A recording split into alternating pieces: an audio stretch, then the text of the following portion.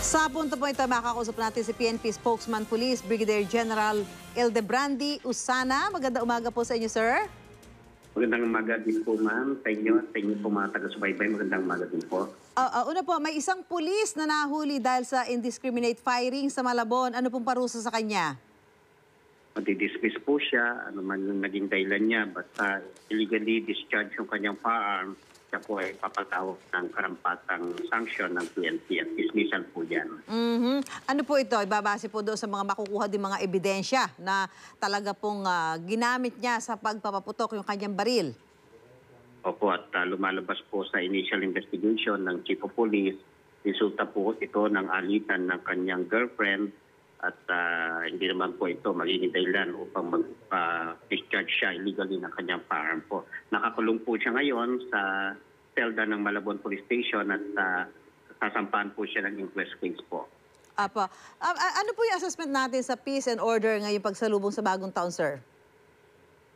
Ah, pangkalatan, naging mapayapa at matiwasay po ang pagsalubong ng mga mamayan natin sa bagong taon. Pagamat Nesty, ah, nakita ho na, Pwede natin bang na magtanong sa Lanaw? Apo. Sir, kanina lang po may isang balita po kami na dito po sa may Lanao del Norte, meron po isang bata na biktima po ng ligaw na bala. Meron na ho kayo, kayong natanggap na balita tungkol dyan o report na pwede nyo ibahagi sa amin? Totoo po yan, ma'am. Sa pong 12-year-old girl, um, ang pangalan po niya ay Suset Manamparan. Nakatira po siya sa Sapad, Lanao del Norte. Ah, namatay po siya resulta ng ah, stray bullet, no? Nangyari po ito ng alaunan ng madaling araw ng January 1. Kanina madaling araw lang po ito. Habang naglalaro po siya sa labat ng kanilang ah, bahay, Ah, hawak-hawak niya po yung kanyang alkansya, bigla na lang daw po siyang bumagsak. At akala ng mga pinsan niya ho ay siya, ay, ay, siya ay nadulas lamang. Pero merong mga dugo pong lumabas at ah, dali-dali po siyang inatid sa ospital.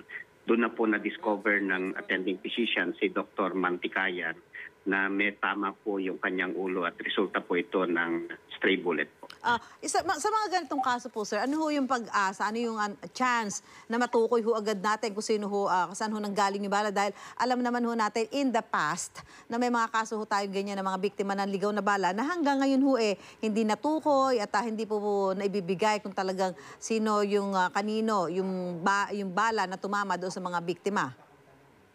Kung yung baril po ay nakaregister na sa gobyerno, particularly sa ating Firearms and Explosives Office at doon sa Crime Lab, pwede po itong mapa-verify at kung ma-determine na ito po ay nabibilang sa isang ah, individual owner ng firearm o sa isang miyembro ng security sector, malalaman po yon. Mm-mm. Pero kung ang isang firearm po ay hindi rehistrado, dito po magkakaroon ng difficulty kasi wala pa po tayong pagpapasihan kung sino ang may, may nagmamayari nito pong firearm na to. Ah, gagawa po ng paraan ng ilan sa ating mga kapulisan by way of asking maybe kung sino po yung mga nakawitness doon po sa pagpapaputok sa lugar na maaring ah, malapit lang po doon. Depende po kasi yan sa pagkakabaril na o pagkaka-indiscriminate firing na tumama po mismo doon sa lugar na kung daan, nasaan po yung bata. Ah, at kung ma- mapapatunayan po na ito po ay ah, loose firearm, galing sa isang ah, loose firearm, yun talaga hong ah, pag ah, yung para ho matukoy at mapanagot ah, kung sino ho yung nasa likod nito, eh, it will take time or probably hindi ho agad talaga, ah, mahihirapan ho talaga matukoy ng mga otoridad. Kung rehistrado po ito, madedetermine po agad, malalaman po agad kung sino po ang may-ari. Ah, magpapa-autopsy po ang ating otoridad, ni-request na po yun sa pamilya at ah, eventually yung slug po, imamatch po doon kung saan nabibilang ito pong ah, slug pagdating po doon sa firearm. Okay. Maraming salamat po, PNP Spokesman Police Brigadier General Ildebrandi Usana. Happy New Year po sa inyo. Happy New Year din po ma'am. God bless po. Salamat po.